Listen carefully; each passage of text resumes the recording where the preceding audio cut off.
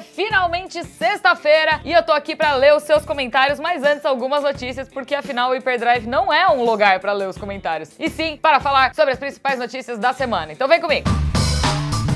A primeira notícia de hoje é que se você gostou do Superman lá da série da Supergirl, fica feliz porque ele vai voltar, o Tyler Hoechlin vai voltar para interpretar o Superman de novo. Eu particularmente gosto muito dele, acho que ele é um excelente Superman. Mas o mais legal é que ele vai aparecer no crossover do Arrowverse, que é o universo dos super-heróis lá da CW. Além de Arrow, tem Flash, Supergirl, Legends of Tomorrow e agora tem o Raio Negro também, mas provavelmente o Raio Negro não vai aparecer nesse crossover. Enfim, a notícia é que além do Superman, o crossover também vai contar com a Lois Lane. Pela primeira vez a Lois Lane vai aparecer na série de TV da Supergirl e a gente ainda não sabe quem vai interpretar ela porque isso não foi divulgado ainda. Então, se você quer saber quem é que vai interpretar a Lois Lane, não deixa de clicar no sininho para receber as notificações, porque assim que tiver um vídeo novo no canal, você vai receber uma notificação. Deixa seu comentário aqui embaixo, curta o vídeo, assina o canal e acompanha a gente lá no site. Ainda na onda de contratações, a Lina Dunham, que você conhece como a criadora, produtora, diretora e a estrela de Girls, aquela série da HBO, foi contratada, pasmem, pro novo filme do Tarantino.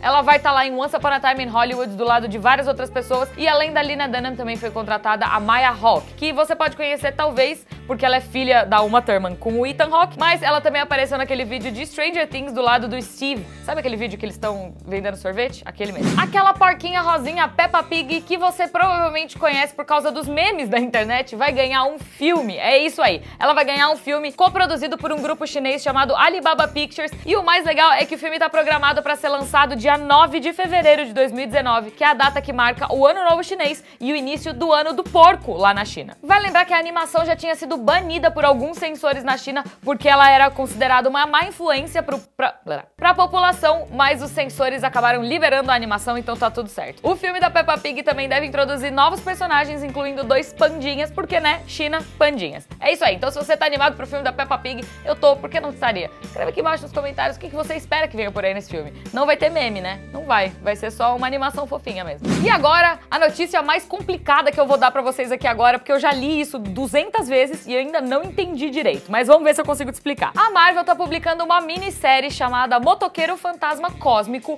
onde o Frank Castle, que é o justiceiro, acaba virando o motoqueiro fantasma. A questão é a seguinte: na, na edição número 5, o Frank Castle decide que ele vai voltar no tempo para matar o bebê Thanos. Só que chegando lá, ele olha para aquele menino roxo esquisito e pensa: que fofo, não vou matar, vou adotar. Aí ele adota o bebê Thanos e cria ele como seu próprio filho. E aí a capa da HQ mostra um Thanos crescido usando uma camiseta de justiceiro com uma arma na mão e é a coisa mais bizarra que eu vi essa semana. Se você quiser ver todas essas artes com mais calma, o link tá aqui embaixo na descrição. E se você quiser entender melhor essa bizarrice toda, é só clicar no link também, que ele lá explica direitinho. Só vai ler para entender. Sério. Mas antes de ler os seus comentários, aquele aviso amigo, se você ainda não garantiu o seu ingresso da Game XP, corre já para gamexp.com.br para garantir o seu ingresso, conferir o lineup completo porque você não vai querer perder o primeiro Game Park do mundo. O evento acontece lá no Rio de Janeiro, no Parque Olímpico, de 6 a 9 de setembro.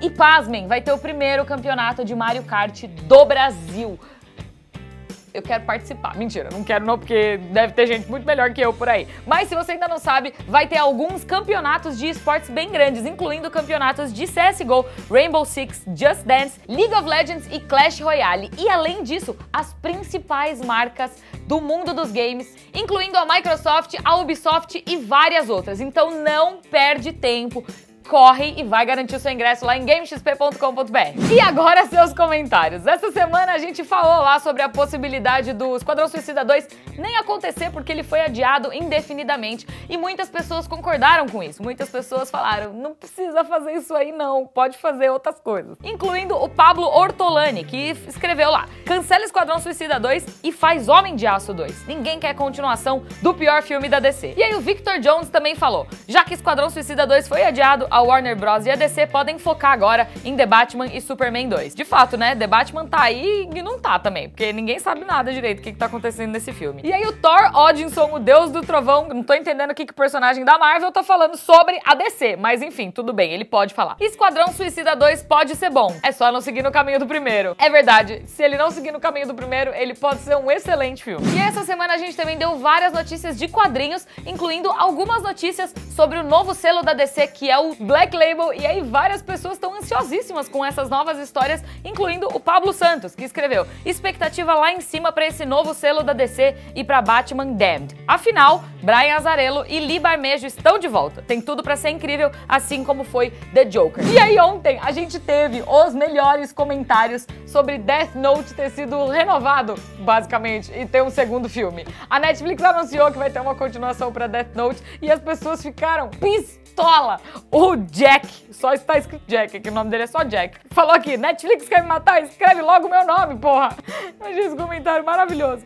E aí o Gilmar Faria: não basta ser ruim, tem que ter ruim parte 2.